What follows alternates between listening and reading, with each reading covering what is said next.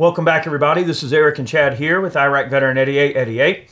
Today, we've got another Gun Gripe episode for you, and we're going to be sort of posing the question and diving into this subject, and we're going to be posing, all right, is the ammunition situation getting a little bit better?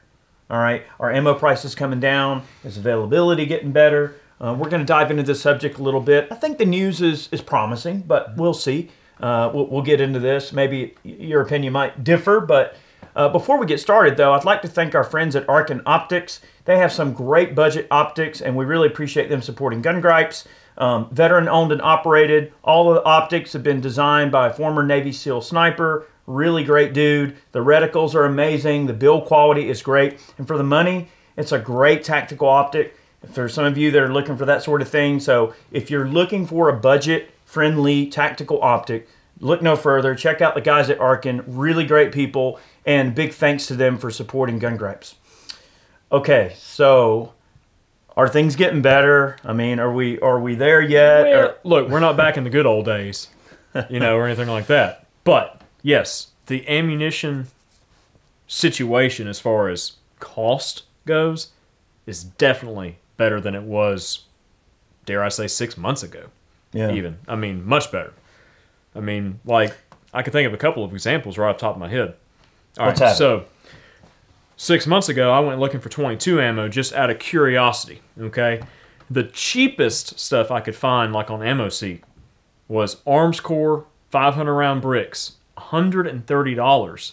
And this is about the time I was really starting to test the Vudoo, the v, uh, the 360, you know, the match grade 22, and I was looking for some more like Center X and 10X and things like that. Bulk plated 22 long rifle ammunition was selling for the same or more as match grade 22 ammo. Match grade 22 ammo didn't really go anywhere. There were a few places charging a little bit more for it than is the normal price, but there wasn't this huge like 50, 60, 100% increase in the price. 9 millimeter six months ago, 70 cents a shot. Yeah. These days, For eh, ball. for ball, yeah, for FMJ. Yeah. Now it's like 30 to 40 cents. I mean, it's definitely better than what it was, but I think it's a case of common economics. The supply is increasing because the demand is kind of slowing down a bit, so there's more ammunition out there available. So if there's more ammunition on the shelves and less people to buy it, retailers want to sell that stuff, so they lower the price to get it out of here. Get That's it out right. of here, see you later, bye. Well, there, there was sort of this this thing floating around there for a while where people were saying, well, there's a component increase. You know, the cost of the components has gone up, so we're going to have to, you know, increase the cost of the ammo in, in perpetuity by X amount. You know, so there was that sort of factor. And also, uh, recently, Remington has started producing ammo again, so their factory's up and running, and they're making ammo, Yeah. uh, which is awesome. I mean, during that whole bankruptcy and everything, and just the entire kerfuffle, as Eric likes to say, the kerfuffle. I love that with word. Remington. You know, that was a major ammunition manufacturing facility that was not producing any ammunition Right. for that entire And from time. what I period. understand, they're back up and producing ammunition now, which Yeah. is awesome.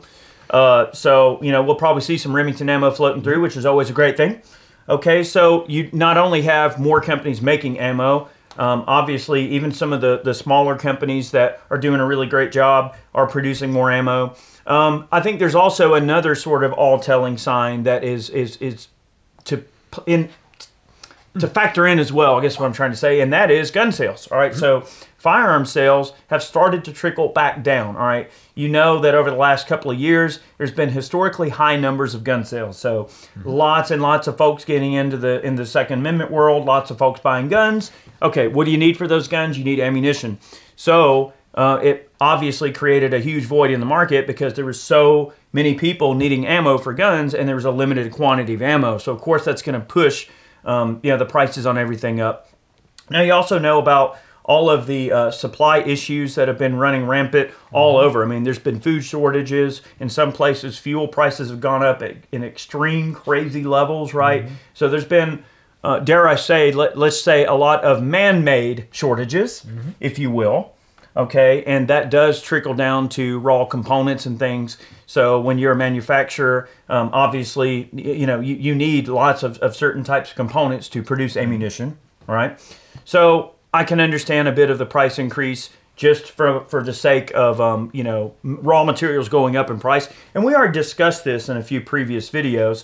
And I see Chaz pulling up a chart. He's pulling up the the NICS numbers Yeah. more than like. So what are the NICS numbers looking like? So just uh, for example, like, all right, at the start of the, you know, pandemic, okay, uh, firearm sales really spiked up in like that March and April, like way over the the amounts in 2019. I mean, we're talking 3.7 million in March of 2020, 2.9 million in April of 2020, 3 million, 3.9 million, 3.6 million. Wow. Like a huge increase last year. And then at the beginning of 2021, we went into January with 4.3 million and then 3.4 million in February. 4.7 million firearms NICS checks. And that, they- remember, that guys, Uncle Sam money coming now- in, baby. Now remember, remember, guys, like this chart, okay, this NICS background check chart is only the number of background checks that were run at a gun counter for the purchase of firearms. Right. Now, multiple firearms can go on one 4473 and thus one background check. and also doesn't Okay. attribute to private sales, builds, things like that. So th- this is only a tiny glimpse into how many firearms really are changing hands. But we are lower than 2019 at, at this point. Uh, and for the last six months, the numbers have been trickling down. But getting into the holiday season, normally the gun sales numbers trickle back up in October, November, and December. Right. Um, but we haven't seen that in October this year. So maybe it's an indication that less people are buying guns and the ammo manufacturers are putting out the maximum quantity per day that they can. So the market is getting a little bit more ahead as far as supply goes. And that's where, like I mentioned, the prices have been coming down. And to be fair, okay, I did watch the video that Federal put out about their ammunition facility. I believe it was one, the president of Federal, or. It was one, the one of president, yeah. one of the upper end fellows there over at Federal had you know gone through and showed off some areas in the facility and like, hey, we're putting out ammo as quick as we can. I watched that video and it's fascinating. Um, I've never been out to Federal or anything. I know a few folks have, um, but they put out a lot of dang ammunition. Right, we're talking a lot. Like 7 million rounds of 22 a day by itself. Yeah. Something like so that. You know? they're putting out a lot of ammunition. So the companies are gearing up at an unprecedented rate to put out ammunition, but there is a certain danger in that because if you scale up too fast and spend too much money too soon, and then the demand doesn't, you know, sort of grow along with Mm-hmm. that growth in a measured way that you can really, um, you know, calculate and quantify. Then you wind up in a situation where you've got some multi-million dollar machine sitting there that's not doing anything and there's no one running it, Mm-hmm. and that's a problem. Okay, you start having overstock, you start buying more material than you know you're going to need, so then you've got raw material sitting around, you've got ammo sitting around. Now, in this environment, is that to say that every ammo company is not going to be able to sell every single scrap of anything that goes bang right now, today, right now? Of course they can. But there's going to come a time where they may have to work at it a little harder. You know, they may have to get into brass tacks a little more. Well, if you buy my ammo, you know, a little wheeling and dealing, a little more salesmanship coming into play. But right now, anything that says 9 or 22, you better believe it's flying out the door. It doesn't matter if it's stuffed with range scrap. Eh, you know, so the point is they are putting out ammo at a completely unprecedented rate and i have noticed just to be fair okay just just play devil's advocate here i've noticed that the quality in some of the ammo has not been quite the greatest i mean you, you can tell that there certainly are some minor quality issues that have arisen from the fact that they're trying to put out just so much more so anytime you're really mm-hmm. increasing production a lot you're running multiple shifts you're training people up at a much higher rate. Uh, you know, maybe you get a little bit more inexperienced labor in there. Mm-hmm. Maybe there's a few quality control checks that sort of get glassed over mm-hmm. rather than really looked at under a microscope. Yeah, I mean, I've seen a few pistol rounds have primers inserted backwards um, from all all brands. I've seen some Winchester, uh, Federal. I mean, you name it. I've seen a few backwards primers. I've seen a few projectiles get seated a little crooked and, and the crimp not quite be right, you know. And so you're going to have the occasional little thing like that anytime you're dealing with ammunition. I mean, I've but it it- does occasionally happen. So I've seen it more with bulk ammo that just comes in the big tins, you know, uh, just loose packed. I've seen um, like the case mouths where the projectile would be sat down into the case mouth, um, typically like on the the reloading machines that these guys use are all inline, typically not like a normal rotary type progressive press or whatnot. But the powder will come down through this die and it'll expand the case a little bit, and then the projectile gets sat on there. Sometimes the projectile gets set a little bit to the side and it'll kind of crimp down the side of the uh, case just a little bit, I've and it'll be kind of wrinkled. But most of the chambers, you know, that you shoot these rounds out of, it'll still chamber and it'll probably function fine. But I have noticed a lot more of that sort of issue. for Well, sure. What's cool is when you, when you look at a lot of these large companies, and, and not to get too far down this rabbit hole, but I just think it's worth mentioning that when you have a Camdex style of reloading press, um, and reloading is really the wrong term. We're talking about Manufacturing, all out yeah. manufacturing, Yeah. right? And in the line system makes a lot more sense, right? Because if you've got a rotational axis that is occurring with your dies, right? When you look at a progressive press where the ram um, goes up into the die or whatever, I mean, so a turret press where the dies are moving and you got one stationary, you know, uh, ram that just takes apart all the cycles and then you've got the round versus, you know, a fully progressive press where you have a moving shell plate.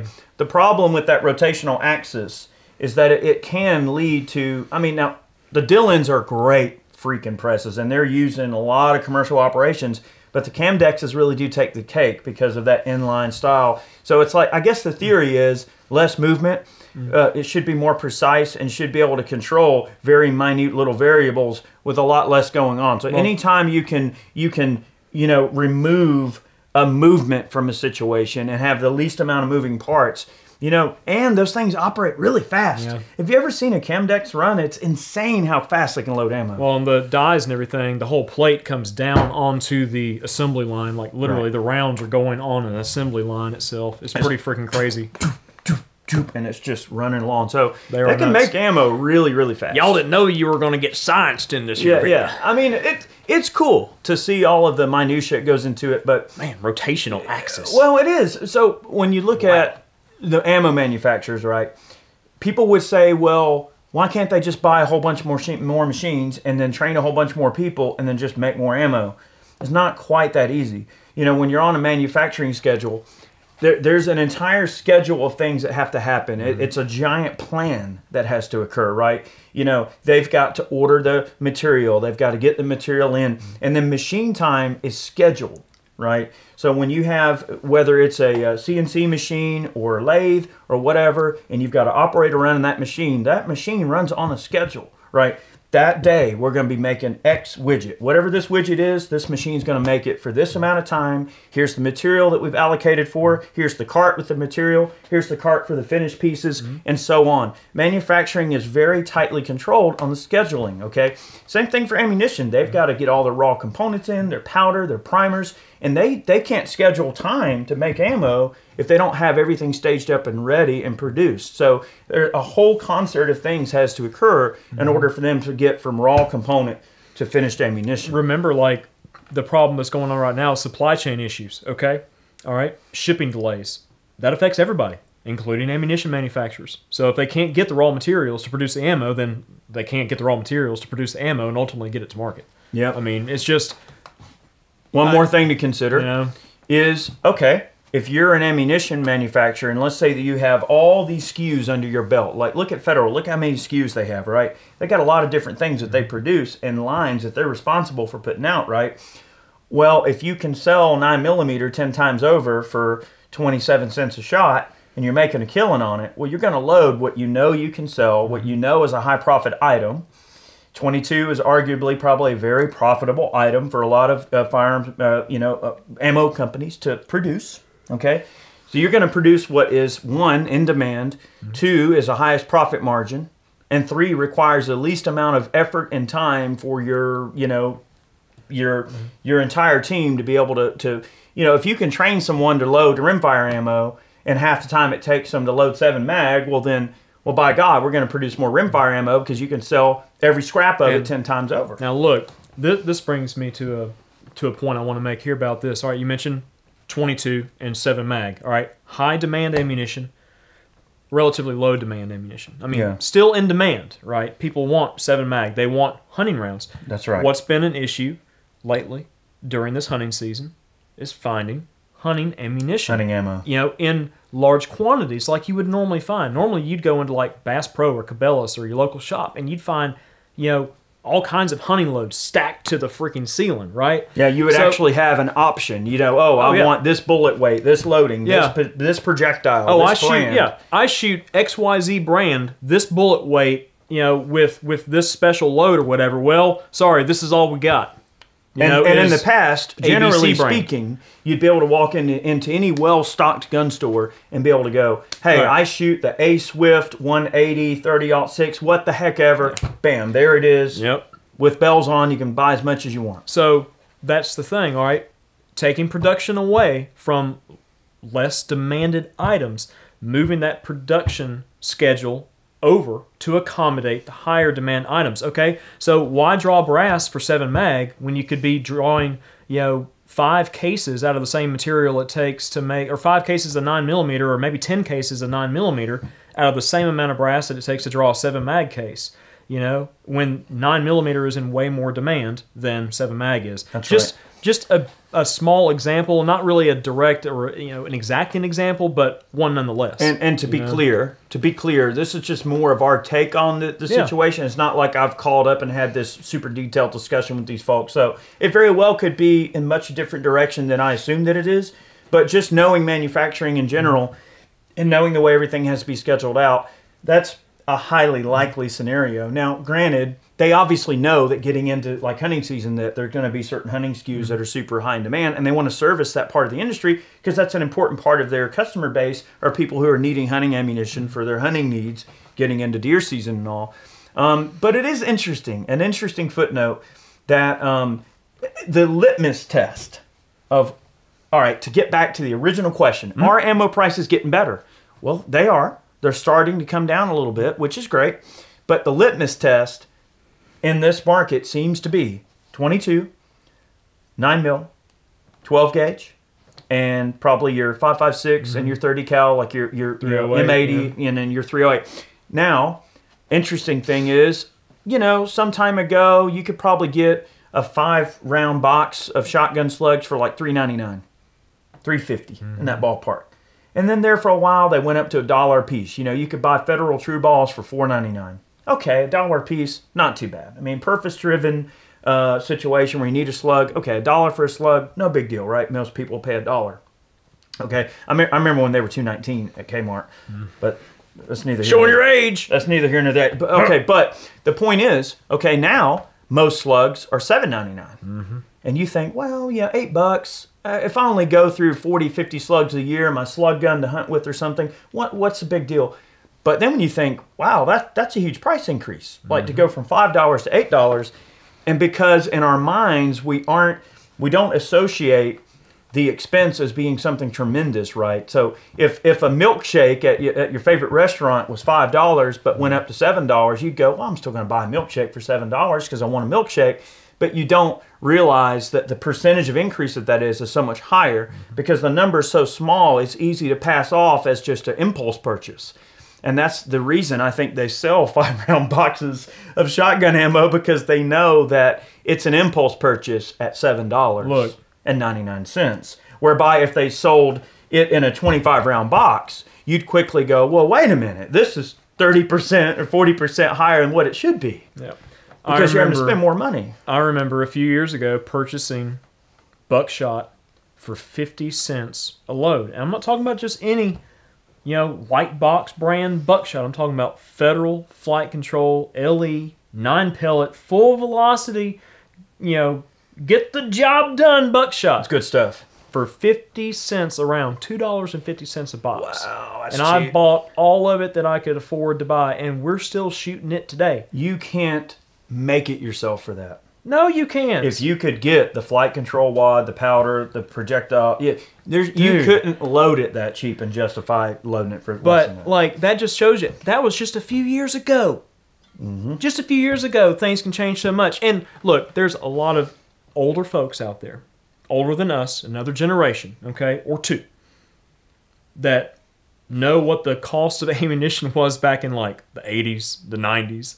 You know, when they talk about crates of ammo and this, that, and the other, it's like, oh my god, I wish I would have lived in those days. That was the golden day, or golden years, you know, Dude. But uh, look, ammo. I think that the, the prices are going to continue to kind of come down, okay, as components and things come down. Oh, and that's the point I wanted to make about the slugs. You mentioned the slugs going up so much. Well, there's a lot of lead in the slug, all right? And if there's a component cost increase in lead itself, then obviously you've got more lead in this round. So the cost is going to go up a lot more, you know, for that round than it is for each individual round of 9 millimeter. You That's just true. Something to think about. I remember my grandpa used to, used to take me service merchandise. Oh, and buy God. The fi- remember the old Federal bulk packs that were like the 550s and they had the ugly, you know, little cardboard Kinda box. brown and red yeah, box, kind of brown yeah, and red box. And we would buy 550 rounds of Federal bulk pack at service merchandise, the old bulk pack, and it was like ten dollars, And 88 cents. ten dollars and eighty eight cents. Well, that was Walmart. So Walmart was 10. I think they were like nine ninety nine. Yeah. 10 bucks for 550 rounds of 22 and i remember and it, when the cmp was selling all of those kimber uh, marksman you know the, the army training rifles that they had those kimbers uh, you know the bolt guns they had a whole bunch of cases. mylar pack 5000 round battle packs of 22 ammo and Like they were letting it go bucks. for i, I want to say it was like six or five cents a shot it It was like, they were like 80 bucks, something like that. yeah, mean, 80 bu- 80 or 90 bucks for 5,000 rounds of, of match grade lead nose 22 ammo. Yeah. So the my my thing is okay. People, this is just this is the common thing with economics. All right, people forget. They tend to forget pretty quick.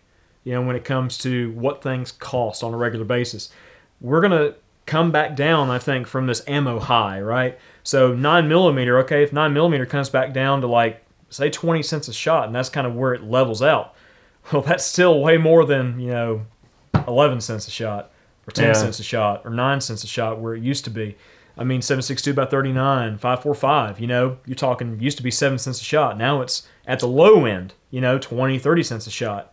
I think mean- we would probably end this gripe by just saying this that no matter what you think the prices are going to be like in the years to come, uh, no matter how much we want to agree or disagree with this type of concept, just keep this in the back of your mind that the good old days are now.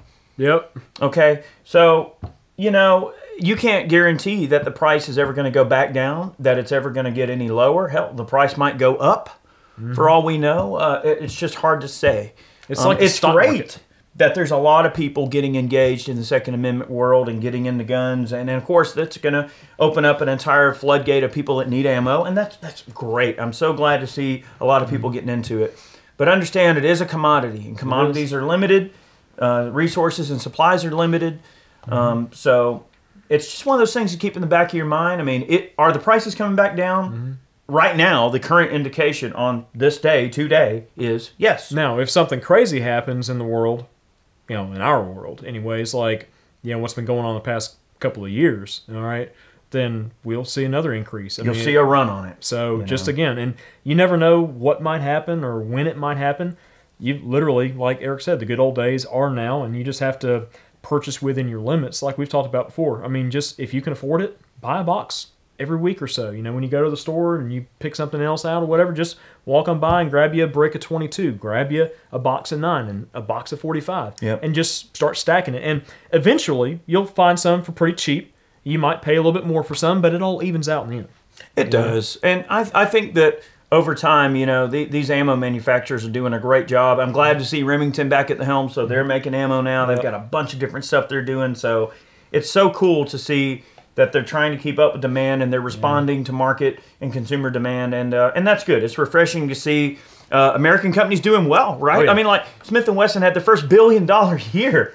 I mean, it's just crazy to think that the insane. firearms industry, in terms of gun manufacturing, ammo, has just grown in leaps and bounds, and it's so refreshing to see. And it's uh, it's an interesting time to to be a, a part of that process, and to to think that like 20 years from now, will we look back on this and go, well, man, we got really uh, bent out of shape over that ammo prices for a while, but you know, hey, we got the price back down, or are we going to look back and go? Wow, 20 years ago we were complaining about paying, you know, 29 cents a shot for 9 millimeter. Now it's 90 cents a shot. So who knows?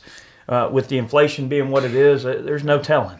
That's a whole other rabbit hole. Oh, yes, it is. But thank you so much for watching today's video. We hope you enjoyed it and hope we, uh, you know, maybe gave you a little bit of insight in, in terms of how the situation's going, if anybody cares to know. Uh, thanks so much for, you know, watching today. Again, uh, if you want to support what we do directly, there's a few ways you can do that. If you love the videos, you can go over to Ballistic Ink, pick yourself up a snazzy t-shirt. Uh, those funds go right back into supporting your favorite content creators, not just us, but you know whoever you support on Ballistic Ink. Those funds go to that content creator, so that's a great way to support your favorite content creators. So go to Ballistic Ink, pick yourself up some merch. Also, uh, Patreon. A lot of folks donate money to us monthly on Patreon. Big thank you to all of our Patreon supporters for supporting what we do. Many more videos on the way. We'll see you soon. Take care, guys.